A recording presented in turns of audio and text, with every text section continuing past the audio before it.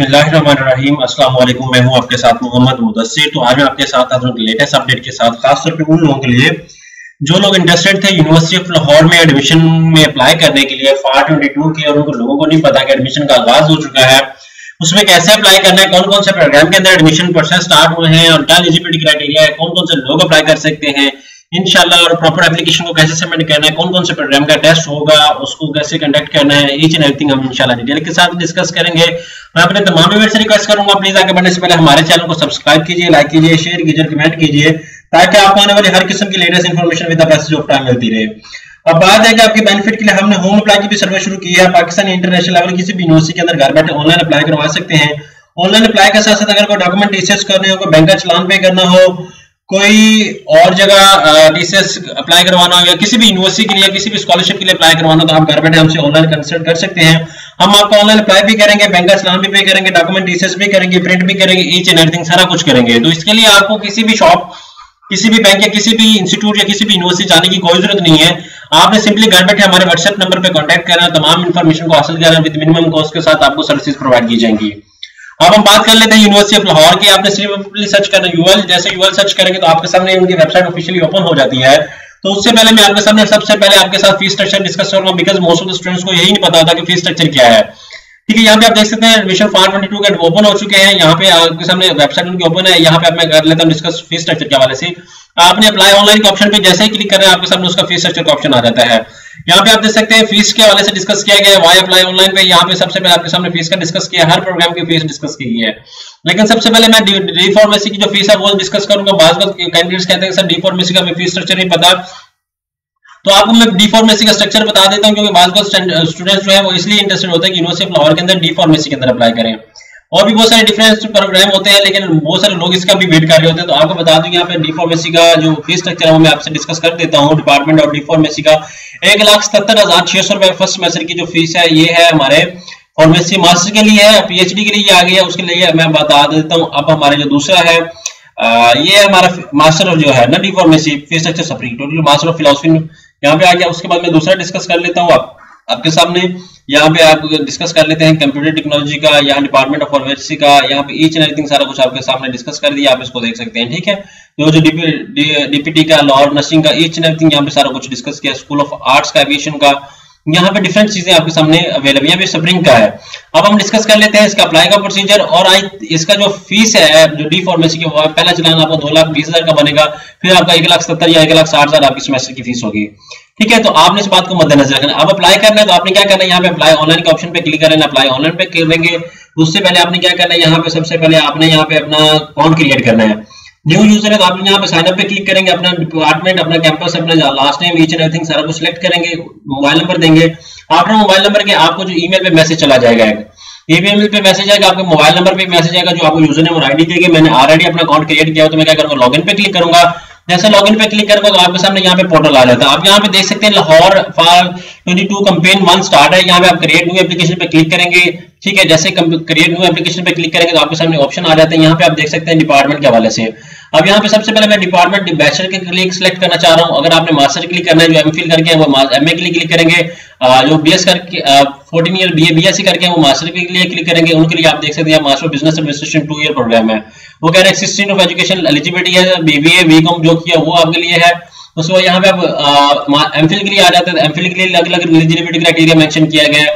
अब बी का आ जाता है एसोसिएट डिग्री का आ जाता है, वो भी आपको बता दिया है। अब यहाँ पे आप देख सकते हैं डॉक्टर डिप्लोमेसी में सबसे पहले सिलेक्ट करता हूँ। ये यहाँ पे आपने ये सिलेक्ट कर लें, उसके बाद लोग इंटरेस्टेड होते हैं। जो एग्ज़ाम्पल के तौर पर इंटरेस्टेड में बात करूँ तो बीबीए के अंदर इंटरेस्टेड कर मैं कर लेता हूँ या मटेरियल इंजीनियरिंग यहाँ पे तीन प्रोग्राम आप सिलेक्ट कर सकते हैं। यहाँ पे अब मैं कर लेता हूँ ओके जैसे तीन सेलेक्ट करूँगा, यहाँ पे नेक्स्ट में मूव आउट कर लेता हूँ। नेक्स्ट मूव करने के बाद मैं क्या करता हूँ रेगुलर बेस पे यहाँ पे एडमिशन स्पोर्ट कोटा पे आप अप्लाई करना चाहते हैं कोटा भी चूज़ आउट कर सकते हैं। अब मेरा नेम मोहम्मद मुदसर तो मिस्टर में चूज़ करता हूँ, रहमान अहमद। यहाँ पे आप गाड़ी नहीं मारे एग्ज़ाम्पल के तौर पर बशीर अहमद यहाँ पे जेंडर हमारा फीमेल मेल है, वो चूज़ करेंगे। डेट ऑफ़ बर्थ आपकी जो है एग्ज़ाम्पल के तौर पे जो भी आपकी डेट ऑफ़ बर्थ है, वो चूज़ कर ले। ये मेरी डेट ऑफ़ बर्थ है मैरिटल स्टेटस में सिंगल हूँ। यहाँ पे तस्वीर में चूज़ कर लेता हूँ। तस्वीर चूज़ करने के बाद यहाँ पे मैं तस्वीर अपलोड कर देता हूँ। यहाँ पे आप देख सकते हैं, तस्वीर अपलोड हो जाती है, और उसके बाद यहाँ पे हम लोग ओके कर लेते हैं। ओके करने के बाद आप कहने के सेम है परमानेंट एड्रेस हम क्लिक कर लेते हैं।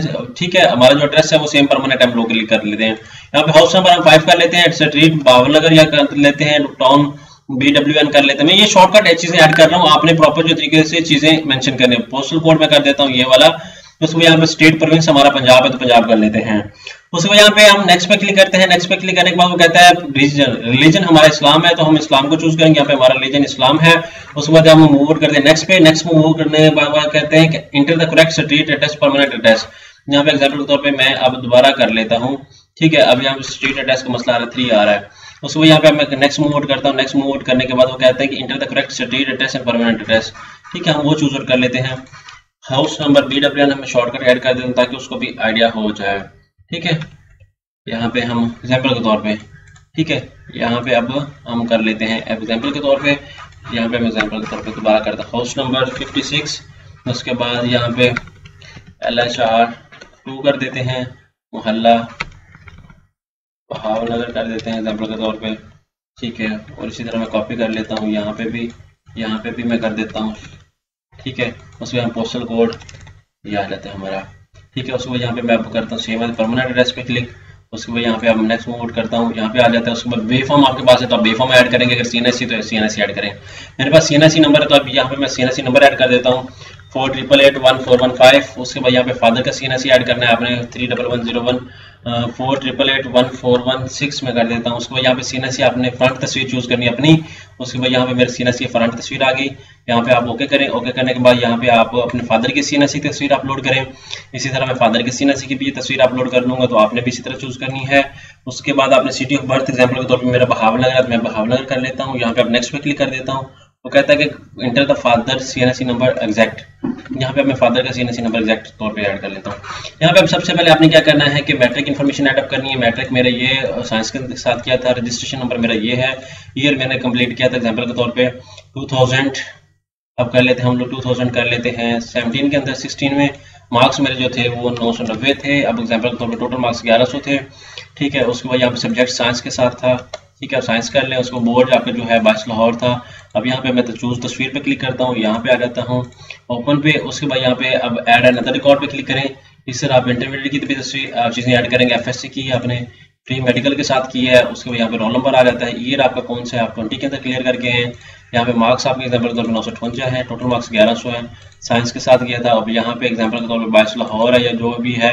अब अगर रिज़ल्ट आपका वेटिंग पे तो आप वेटिंग पे क्लिक करेंगे। यहाँ पे मैं ओपन पे ओके पे क्लिक कर देता हूँ यहाँ पे नेक्स्ट पे क्लिक कर देता हूँ। अब यहाँ पे आपका वर्क एक्सपीरियंस है तो ठीक है, आप अगर इसको नेक्स्ट मूव करें। जैसे ही करेंगे, उसके बाद यहाँ पे ये भी केस एम्प्टी छोड़ दें, उसके बाद आप यहाँ पे सबमिट पे क्लिक करें, ठीक है? सबमिट पे क्लिक करने के बाद यहाँ पे वो कहते हैं कि अंडरटेकिंग पेमेंट वॉचर नंबर हमें कोई वॉचर नंबर अभी नहीं मिला। पेमेंट की बात आती तो हम थोड़ा सा बैक भी जाते हैं पेमेंट देख लेते हैं, हमें कोई वॉचर मिला है या नहीं मिला। क्योंकि हमें यहाँ पे कोई अभी वॉचर नहीं मिला, और ना ही हम लोग इस पर क्लिक कर सकते हैं, ना सारा कुछ कर सकते हैं, ठीक है? अब यहाँ पे हम नेक्स्ट पे आई एग्री पे क्लिक करना है आपने।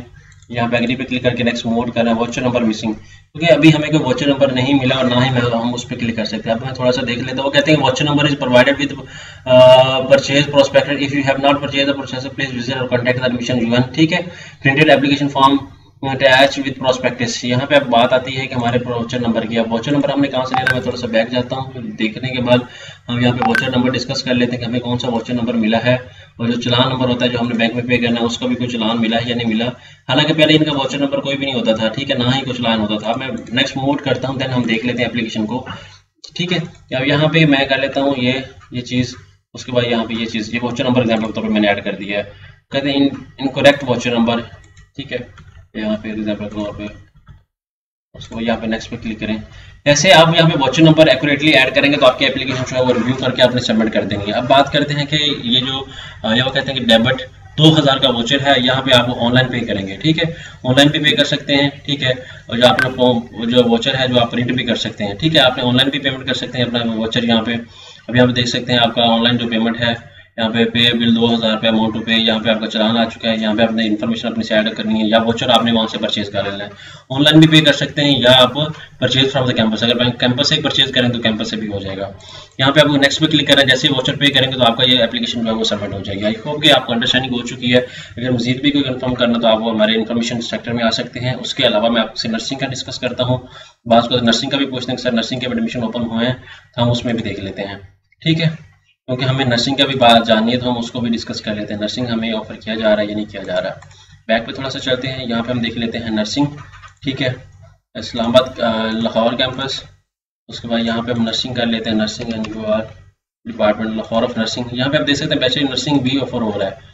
वो कहते हैं, तीन आप ऑप्शन चूज़ कर सकते हैं। हम तीन ऑप्शन चूज़ करने के बाद, तीन ही कर सकते हैं। अगर आपने तीसरा चूज़ करना है तो आप नर्सिंग भी चूज़ कर सकते हैं। तो आपने ये 2000 का इस दफ़ा फ़ी भी है। आपने ये भी बात माइंड में रखनी है। अगर मजीद भी कोई इन्फॉर्मेशन चाहिए तो आप हमसे कंसल्ट कर सकते हैं। एक प्रॉपर प्रोसीजर है। आपको बता दिया है। अगर मजीद भी कोई इन्फॉर्मेशन लेनी है तो आप हमसे कंसल्ट कर लें। जजाकल्ला